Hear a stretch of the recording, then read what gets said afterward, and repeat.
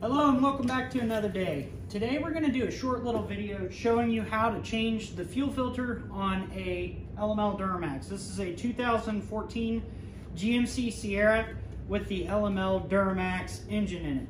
Now, I am not a diesel mechanic. Um, I know how to change fuel filters, do oil changes, and I know some basic other stuff. So I understand how engines work. I could figure it out, but admittedly, I really don't know a whole lot about diesels. However, I do know how to change the fuel filter on here. I kind of thought it'd be a fun little video just to show you guys real quick how to do it at home. You don't have to take it to a shop, just a little bit of mechanical know-how. So I'll show you guys how I do it. There's different ways to, you know, skin a rat or whatever it is that you're skinning, but this is my way. So some guys do this by taking the wheel off and uh, getting up through this hole right here. My fender liner um, has been off a bunch of times, so it's easy enough for me to take it off. Um, I mean, it's been torn up and hacked at and cut. This is from uh, the previous owner. That's nice, right? I'll just forget about that.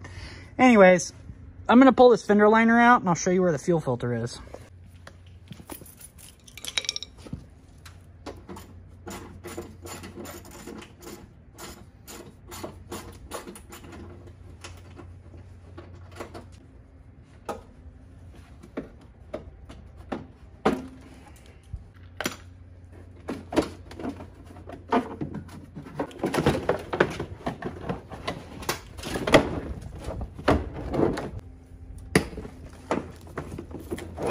Okay, so this is why I take it off, all right?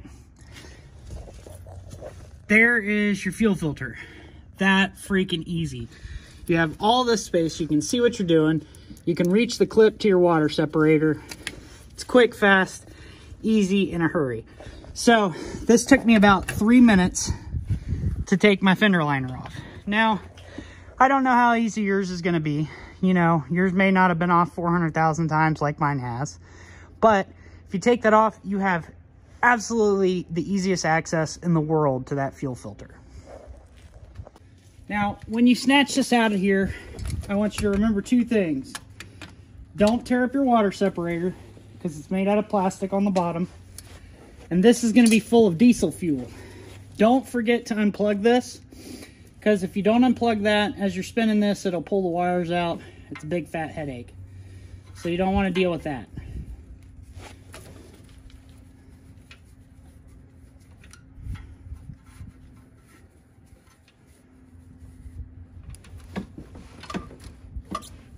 Okay, so there's our fuel filter. A couple of things to note here. Once again, this is going to be full of diesel.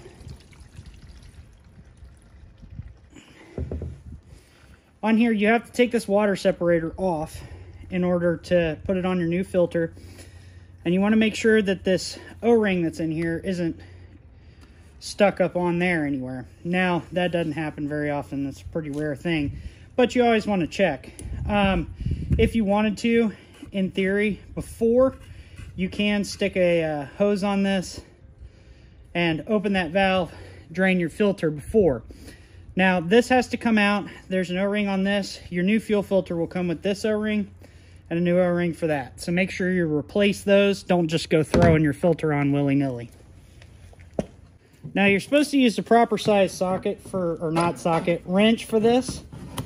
But if you just gently get you a good pair of square angled channel locks, gently grab a hold of that. If the guy before you or you didn't over tighten this, you should be able to take it out fairly easy.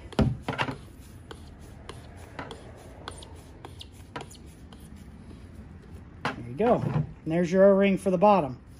Now remember, once again, you're going to have a new one of these so make sure whenever you install all this, you put those O-rings back where they go. All right, so now we got our new filter out. We're gonna stick our O-ring on this side and take, screw in. Always put these side by side. Make sure they're the same filter, obviously. That whole song and dance. If you guys are doing this, you should already know, hey, you know, I need to check and make sure my filters are the same. That's uh, basic maintenance mechanic in 101. Always check your filters before you install them. Make sure they're the same. Don't cross thread anything. And this is going plastic to plastic, so do not over tighten this because if you do, you're going to have a hell of a time. Also, if you uh, pull the, the uh, threads out of this side or the inside, you're having a really bad day.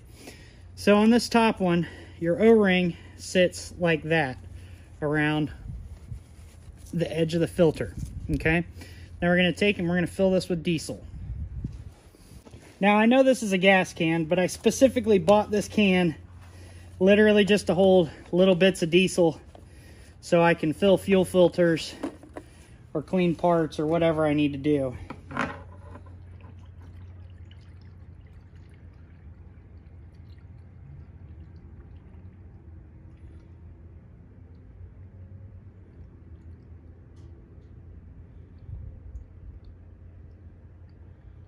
Make sure we fill up all the cavities.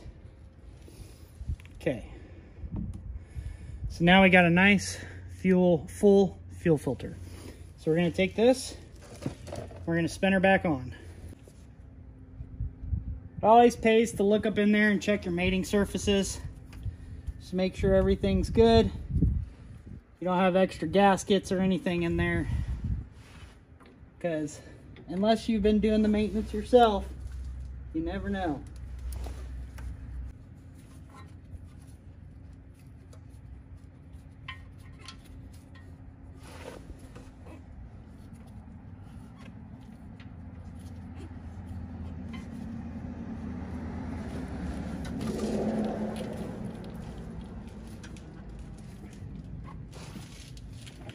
Okay. All right. Now that that's in, we make sure we plug our water separator in. All right. And that's done. Now let's start it up and check for leaks.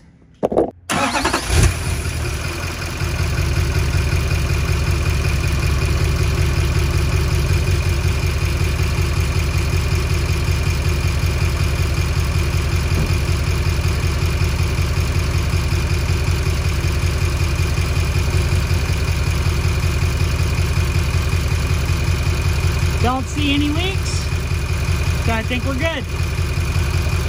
Well, there you go, that easy.